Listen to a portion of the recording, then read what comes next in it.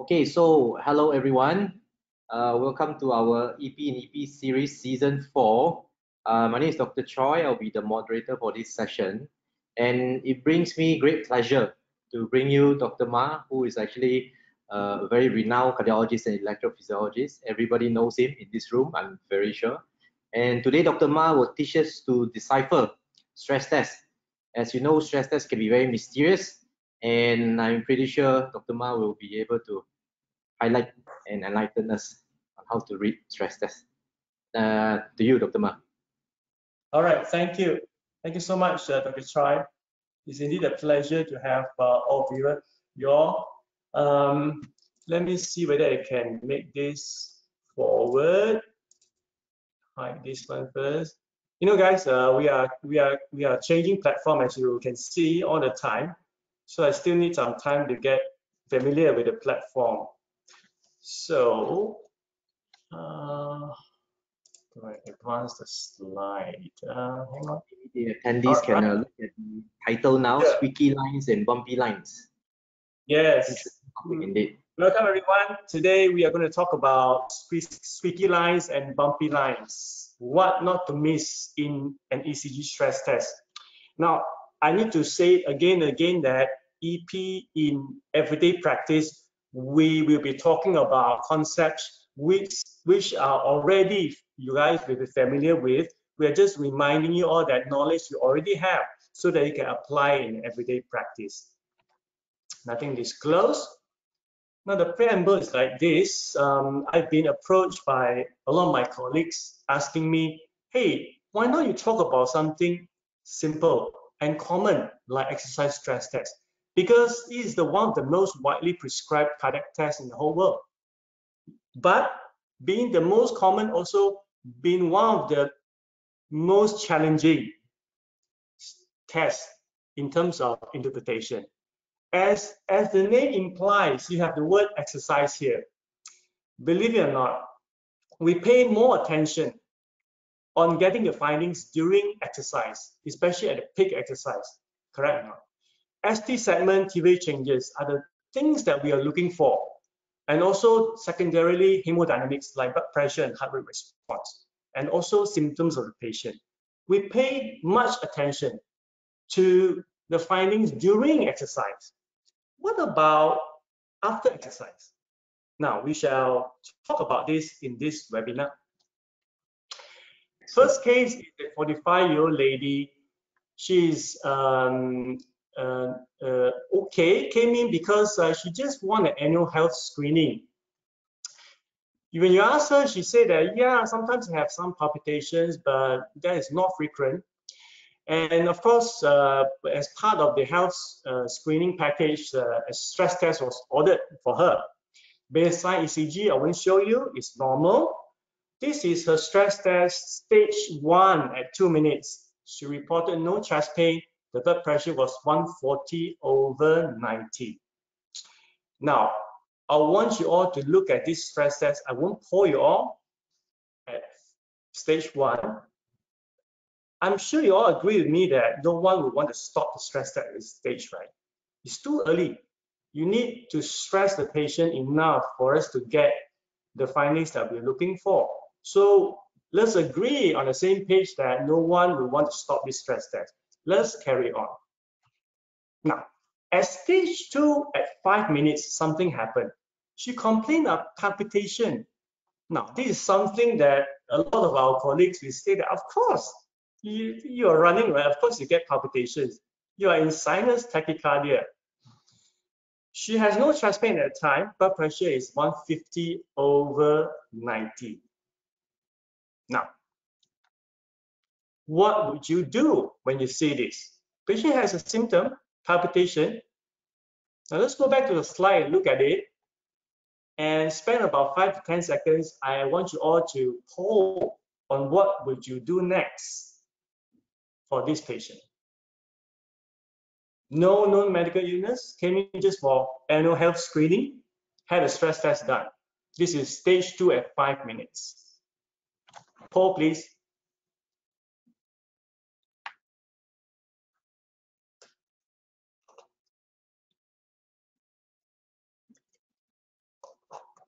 We have 14% voted so far. Let's make it 100%. Yep. Simple, three options only. You stop this sort of stress test immediately based on one symptoms of palpitation. You want to continue or you want to press a button.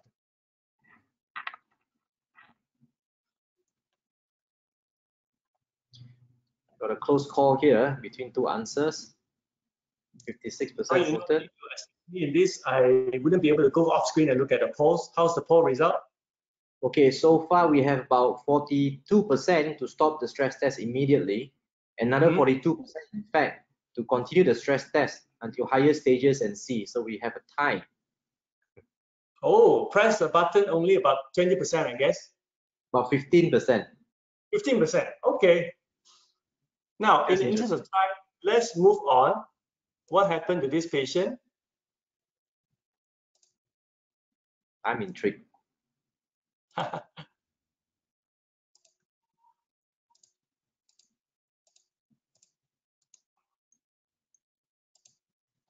okay. We chose to press the button because we think that by pressing that button, which I'm going to tell you what button is that, what button was that, uh, can reveal more findings to us. So we press this button and we saw this. This rhythm came out. Now I'm going to come back and talk about this.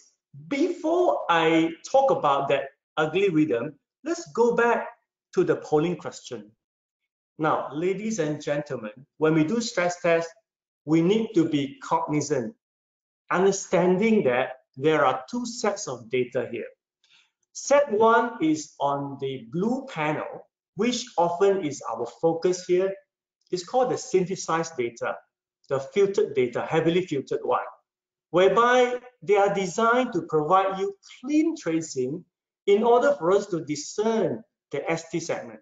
Makes sense, right? Because we do stress test, we really want to concentrate on the ST segment.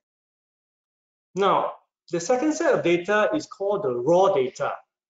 Beneath this uh, red panel here, red, red bar here, the raw data is minimally filtered. You can call it unfiltered. But actually it's filtered, but minimally filtered. A lot of noise, usually due to movement artifacts, because the patient is exercising. This is a very important concept for us to grasp because two different sets of data carry two different connotations. Now, you, what you can appreciate in the lower panel here, the raw data panel here is the QRS complex, albeit is being littered with artifacts, you can see QRS complex actually marching through the sharp ones. I have marked it up for you with the red arrows here. You can clearly see that the QRS complexes are irregular. But lo and behold, even though the raw data is the QRS complexes are irregular, the same lead here lead II at the synthesized data set, they are regular. What's going on here? Why is that so? And by pressing a button called the rhythm diagnosis button on your stressors machine, which is available across different brands, in GE it's called the rhythm button, GE machine is called the rhythm button, we are able to have a grasp of the rhythm, the underlying rhythm of the what is patient is having. Now, clearly, by looking at lead II the raw data, we're having only one camera. So it's less of a vantage point here. So we need to press a button, the rhythm button to see more cameras. More cameras means more clarity here. Now, I want you, you all to look at this tracing. Uh, before that, I think I need to show you this. Yeah, this is the GE machine rhythm button. Means that you don't want the synthesized data set, you want raw data set, which is essential, essential for rhythm diagnosis. Now, coming back to this tracing, raw data been shown here. This is the arrhythmia that patient's having. She's complaining of escalating palpitations, BP 150 over 90, still no chest pain. My question for my audience is, again, you know, your nurse or your MA, which usually they are the one do stress for you, right? They're looking at you, boss, what to do. what's your diagnosis and any further instruction. You have uh, four options here. Number one, you think it's a polymorphic VT, you need to shock the patient. You think it's VF, to shock the patient. You think it's pre-excited atrial fibrillation, you need to cardiovert the patient as soon as possible, or you choose to press another button. Please, Paul. Okay, please vote. It's getting more interesting now, Ma. It's like a glove share market right now. After you mentioned something, people tend to yeah. do particular thing. So we about 74% all voting for press another button. Whoa, good. Hmm, interesting. 20 more percent says it's a pre-excited AF. So we got a cardiovert as soon as possible. Yeah, I'm very happy to hear hear that there's no one uh, in my audience say that this is polymorphic VT or VF. This is very good. Four percent. Four percent says it's a polymorphic VT. Got to shock the patient, and one says it's VF. Shock the patient as well. Sure. All right. In the interest of time, let's move on. Now we press another button. You say it right. This button is called the stop button. we stop the exercise why is that so? Because we want to get more clarity. The rhythm uh, button that you press, been having a raw data set, when the patient is moving, you will have a lot of movement artifacts. You need to press the stop button for clarity, for you to diagnose the rhythm. As you can see clearly from the previous slide, the QRS complexes are already irregular. You need to establish the diagnosis here. Now, I want you all to answer this. Now, this is the rhythm strip being obtained at recovery at one minute or two minutes, you know, very early in recovery. She's still in this arrhythmia. She's still complaining of palpitation. What is this? Sinus tachycardia, atrial fibrillation, atrial flutter, or atrial tachycardia? Please go. Wow. Looks like uh, atrial tachycardia is going very strong at about 65%. Wow. Yeah. No, no one, no one atrial fibrillation. What? No. Oh, yeah, yeah. 20% that says. Because uh, you know what, throughout the conferences uh, nationally uh, and also internationally, I used to say that if you see a rhythm which is irregularly irregular, 99.9% .9 is atrial fibrillation. Remember what I said? It's still true. Maybe this group need a 10 Okay, 72% AT and uh, AF 18%. The rest will be flutter and sinus tachycardia. Great. All right, let's move on. Very good. Now, I want you all to appreciate the P waves here. Albeit in the conferences, I said that irregularly irregular R interval means AF until proven otherwise. This is rule number one. But rule number two trumps, trumps, as in Donald Trump trumps, trumps rule number one. If you can see a P wave, it cannot, cannot be atrial fibrillation. Because in atrial fibrillation, there is no atrial contraction, hence no P waves. Now, if you can see across the board here, the blue arrows is, is pointing towards the P wave, P wave, P wave, P, P, non-conducted, and another P. Now I've drawn this purple color P for you to appreciate that. Be aware that, beware that the P wave can be very cheeky, it's hiding inside the ST segment, causing this so-called ST depression here. And also the P wave can also hide the T wave, causing this tall tented T here. So if you can see a P wave marching across with uh, leading the QRS complex, this is atrial tachycardia. Now the final diagnosis uh, was atrial tachycardia. Patient was finally re uh, finally received, sorry, uh, mistake here. Finally received EP study of radiotherapy in May 2016. 61 of my own case here. She was last seen officially in 2017. Since then, he's been asymptomatic after the ablation. But she came back and saw me in 2019. Recurrence? No, not recurrence. She's so happy that she brought me a Chinese New Year hamper.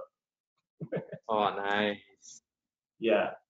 So, ladies and gentlemen, knowing when to press which button is very important. Because think of a sequence of event here.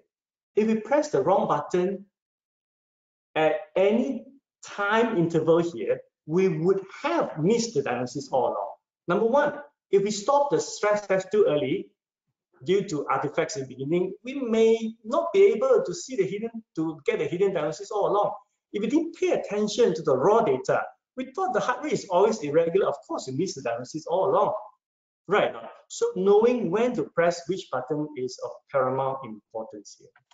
And implications of everyday practice, uh, ladies and gentlemen, movement-related artifacts are extremely common in stress tests. Look at the raw data of interpretation. You should rely on that because raw data is, raw data means minimally filtered. Synthesized data that heavily filtered for your benefit because I want it to look clean so that you can interpret the ST segment, which is of much interest to majority of our physicians friend here. But if the movement artifacts are too plentiful, then you have no choice to sort of scrap that segment of the stress test uninterpretable. But before you scrap it, stop the exercise and record the recovery phase, which is immediate after what you think have, would have changes there. It may salvage the situation. So I would end this case by saying that what happened after exercise is what we emphasize all along. Is as important as what happened during exercise, which is the one that we emphasize all along. What happened after exercise is as important. During exercise is the one that we know is important, but what happened after exercise is equally important. All right, so with that, let's move on to the next case. Next case I call it is all in your mind. 48-year-old man is a only risk factor is smoker, presented with typical angina upon exertion for the past six months. His uh, ADL is still fairly good, but he noticed that he could not exert himself to the fullest. As in like last time he used to do walking up the hill with his family, he couldn't do this anymore. He saw a local family doctor. The local family doctor said that you have IHD. You know, another word is coronary disease, and started him on treatment, aspirin, statin, oral nitrates, and referred him to a cardiologist. Echo done was normal, and of course, the stress test was done at the same time. Standard Bruce protocol, stage three as nine minutes he had the same chest pain. Now I want to poll my audience. This is a relatively simple one. Only two options here. When you look at this stress test, how would you interpret this stress test? Fairly clean, no more noise. yeah. What do you think is a positive stress test or negative stress test?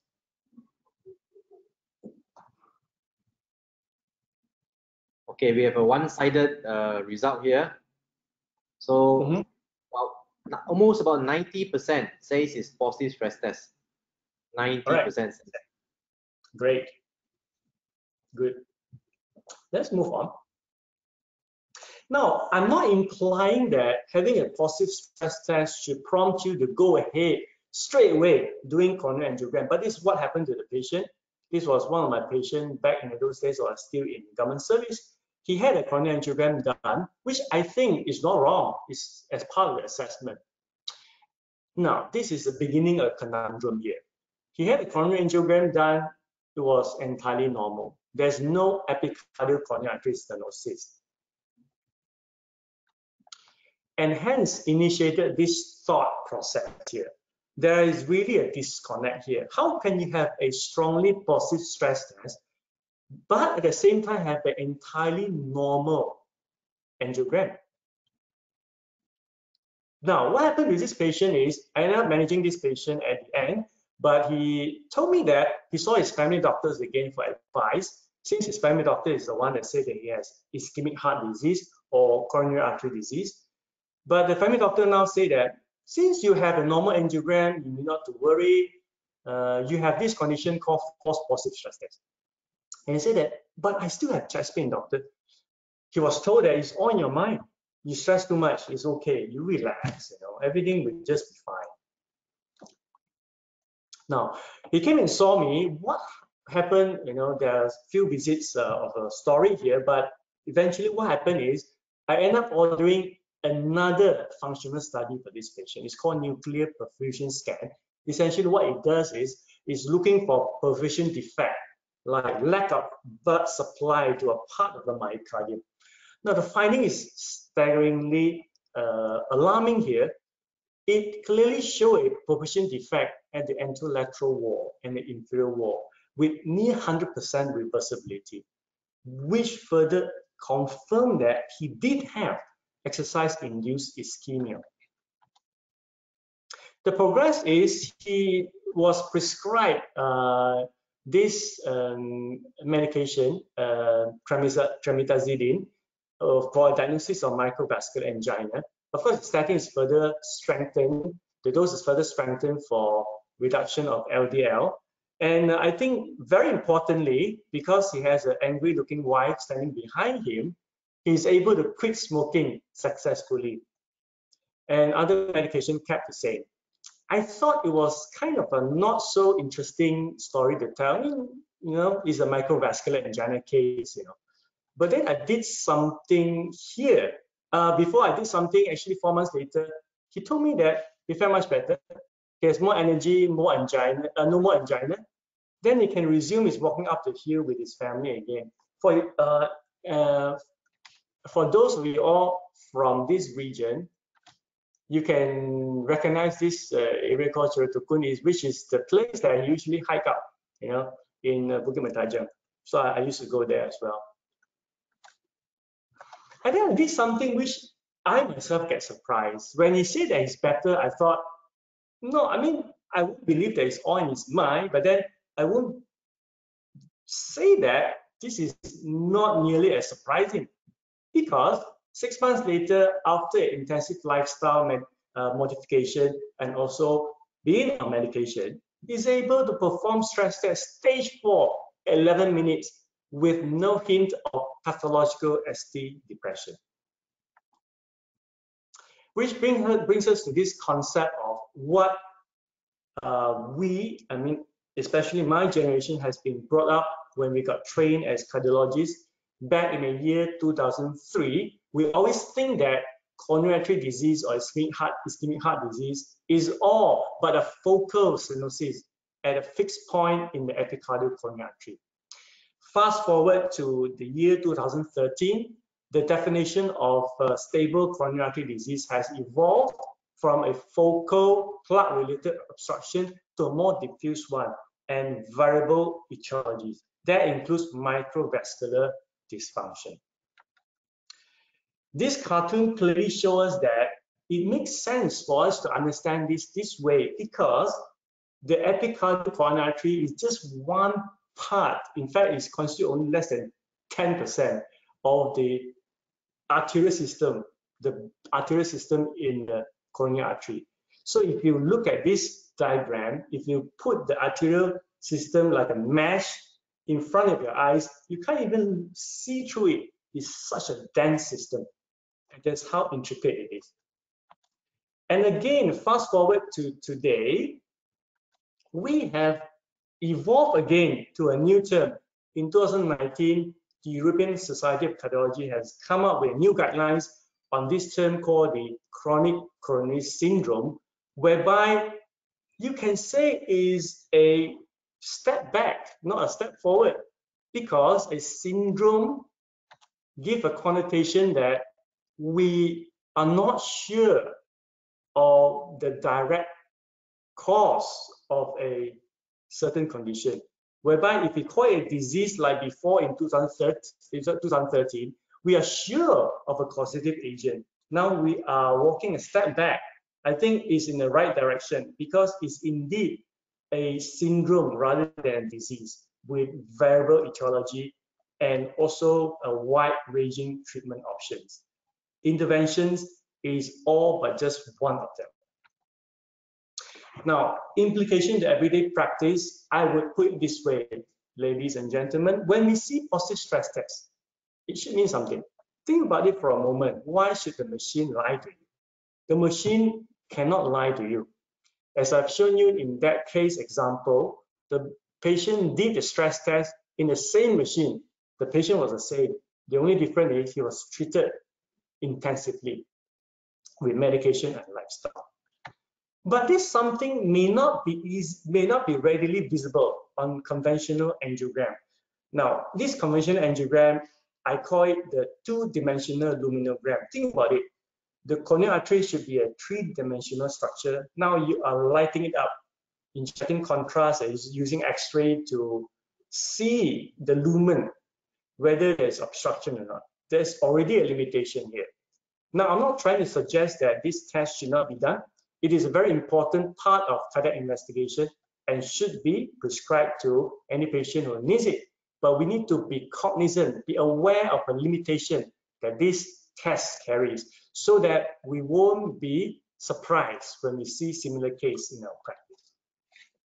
Now, CCS is a new terminology. I think it's a great term because it replaces the old term as it encompasses a much wider scope of etiology and disease manifestation.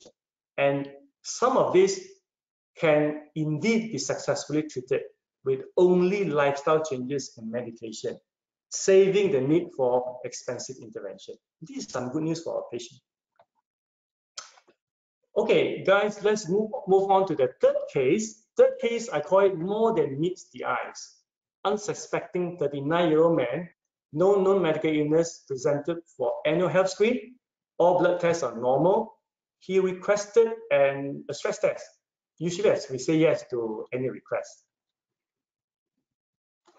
He did very well. Max heart rate achieved at 161 beats per minute, which is more than 85% of age predicted maximum heart rate, uh, target heart rate. Appropriate BP response, there's no abnormal ST or T-wave changes, there's no PVC during exercise, no chest pain. But you saw this. Recovery at six minutes. I won't uh, bore you by uh, asking you how to interpret this. Let me just tell you this is PVC. But instead, I'm going to ask you, what would you do? What would you advise the patient? There are a few options here. You only see a few PVCs. Otherwise, he can achieve a fairly good uh, exercise capacity, not significant pass. Or you want to refer to cardio or electrophysiologist or you want to review the patient back in three months, order a 24 hours Holter, or you want to order a echocardiogram. Please call. You can see the votes coming in, but honestly, for me, I will always want to send the patient to see an EP. Not sure about you, Ma. yeah. Um, this is a, a, good, a great option. Yeah. Mm. Let's not um, give uh, uh, biases to the audience first. Uh, let's just... answer. Okay. okay, so we have about 60% plus voted. So 51% ordered a 24-hour Holter, 22 mm. ordered the uh, echo, 19, like I said, wants to send the patient to see an EP or cardio. 7% few PVCs, no big deal, pass the patient. And the rest come back three months later. Sure. So the week right. is 24 hour Holter. Sure. Let's move on. Now, guys, whatever you do, this is one of the questions that you know my style already now. There's one of the questions that the rest will answer all correct, except one. Now, whatever you do, do not dismiss this PVC because this PVC happened during recovery phase. Now, with that is a mini journal club time. Don't worry, I'm not going to show you high flying graphs or uh, stuff like that. So I'm going to summarize these two um, papers for you. One is uh, actually the bottom here is actually published in JAMA.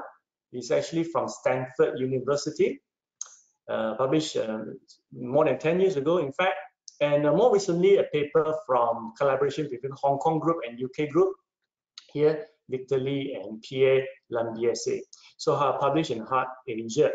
So Let's talk about the Stanford study first, because the Stanford study is actually a prospective trial, studying 1,847 healthy subjects. So what they did was they look at these healthy patients, they subject them for exercise stress tests, and then they analyze them according to no PVC at all, both during exercise or after exercise, versus a PVC occurring during exercise or they have recovery phase exercise means that during exercise no PVC but after exercise got PVC recorded during recovery phase or both.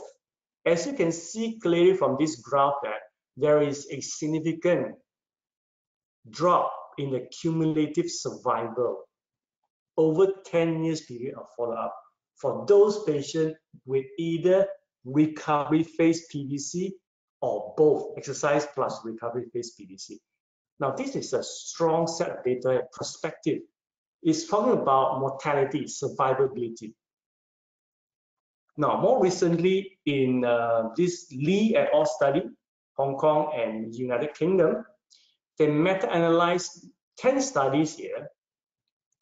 They've been able to show that regardless whether you have clinical heart disease or without clinical heart disease, if you have PVC due, during recovery phase, there's already, there's always an increased relative risk of endpoints here, the combined endpoints. Combined endpoints here are non-fatal myocardial infarction, angina, cardiac admissions, cardiac arrest, cardiovascular mortality, and all-cause mortality. Now, you may wonder that how come there's so many endpoints here? Because this is a meta-analysis of over 10 studies, they have highly variable endpoints here. But the message is, now for the record, I wouldn't even want to tell you that there's a relative risk of 80% increase, which is here. You look at the risk ratio here, and 36%. I think it's unfair to judge this way because it sounds very, very high. But suffice to say, there is a signal towards increased risk of endpoints, including cardiovascular mortality, if we have recovery phase PVC after exercise stress test. What are the implications to our everyday practice? Very simple. There's only three messages I have for my dear colleagues here. PVC during exercise may be benign. I myself can say so. On the other hand, PVC post-exercise, i.e. during recovery phase, is not. The presence of PVC during recovery phase should prompt the treating physician to further investigate the patients. The key here is not to dismiss all PVC as entirely benign. And that is really the message I want you all to take home for today. Now, of course, you all will ask me how to manage PVC, which is a subject of future seasons to come. Uh, may not be the next season because I have topic for next season already, but future season. I call it the PVC, a tale from ancient pharaohs to modern times. Please stay tuned and then tune into our next, next, next seasons. With that, I really thank you very much for your kind attention.